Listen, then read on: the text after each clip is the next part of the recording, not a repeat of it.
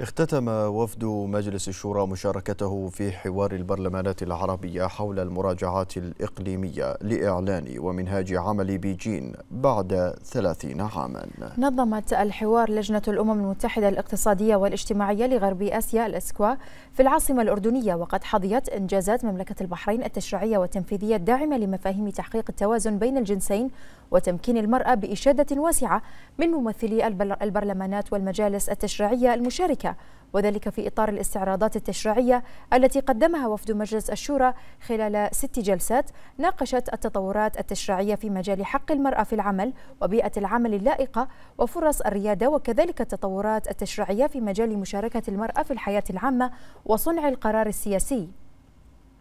وأيضا في مجال حقوق الحماية من العنف الحقوقي وحماية النساء والفتيات الأكثر هشاشة والمسائل الأسرية والأحوال الشخصية.